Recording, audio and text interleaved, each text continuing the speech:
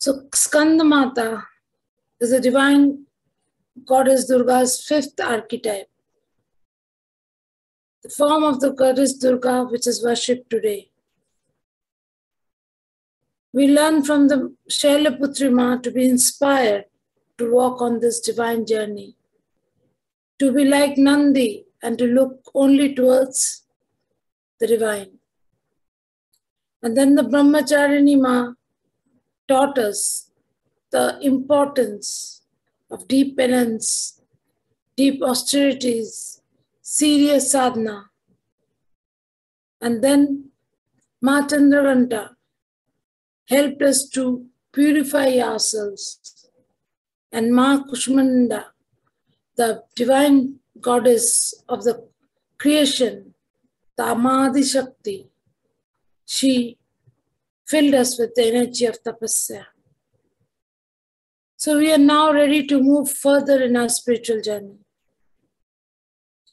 And this fifth goddess, Ma Skandamata Devi, supports us, nurtures us, motivates us, and enables us to walk further in our spiritual journey. It has always been believed that the marriage of Ma Parvati and Lord Shiva was with the purpose of giving birth to Kartikeya. It was the only time when the two of them together decided to give birth to a child. And why? Because Kartikeya was supposed to release earth from the demonic energies from the Asuras especially Tarakasura. And as, as, as that was his mission, it was very important for the birth of Kartikeya to take place so that the world could be free of the Asuras. He is also called Skand. Another name of Kartikeya is also called Skand. And so Skand Mata is the mother of Kartikeya the general of the armies of the gods, the Senapati of the gods. This mother is four-armed and is Anavahan is the lion, which depicts the fearlessness and the power which a lion has. And she holds Lord Skanda or Kartike in her lap in this form. We have always seen that Shiva is the embodiment, Shiva, the Shiva Tattva is the embodiment of bliss, of innocence, of silence, because Shiva is always in a state of silence, always in a state of infinite sadhana. He's, in a, he's supposed to be Bholenath, a very innocent God who does not have any twisted forms in his mind. He's simple, he's pure, he's divine, and he's blissful, always in the state of divine sadhana. But with this state, he cannot create.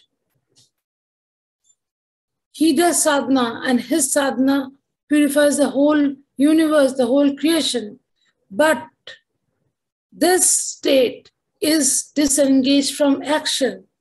So that is why he needed his divine consort, Mother Parvati, who is the goddess of all creation, who is the goddess of energy, who is the goddess of action. And that is why they came together as husband and wife, because we need the tapasya, we need the innocence, we need the infinite power, we need the sadhana, and we also need action, we need creation, in order this, for this creation to form. It is said that Skandamata Devi is the Devi of Ichha Shakti. What is Ichha Shakti? It is the intention, it is the wish, the dream, the purpose that we have inside us, without which we cannot create. Another thing she has is the Jnana Shakti, the power of wisdom, which is inside her.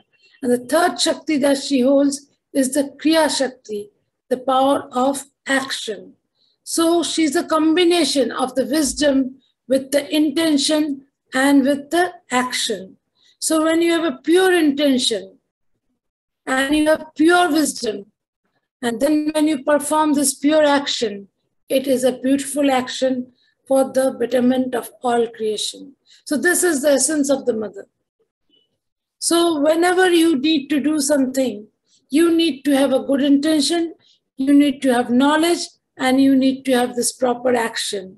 So whenever you pray to this mother, you and for doing something, for achieving something, she will bless you with these three qualities of divine action, divine intention, and divine knowledge. Because a lot of knowledge we may have, but we may not be able to put it into action. A lot of knowledge we learned in school, how much of that knowledge is actually put into action? It is not. So, Mother gives us that knowledge which we can put into action. A knowledge which is useful, a knowledge which is in the flow, a knowledge which is creation oriented, not stagnant knowledge. A knowledge which does not help us in our lives is useless. You may read thousands of books, but unless you apply that knowledge in your life, it is useless. So, Jnani people, there are many Jnani people. I've seen someone who needs or he has read all the scriptures, everything, but he was not able to reach divine. He was so dedicated to the spiritual scriptures. He knew everything. He knew every sloka, everything. I just told him something. That read that jnana one side and just close your eyes and with full of love sit in front of the mother and call on her. So when the love flows through your wisdom, you will reach the mother. And it truly reached the mother. He could see the divine mother. So jnana, just simple knowledge is useless unless it is implemented with love into your life, into your actions.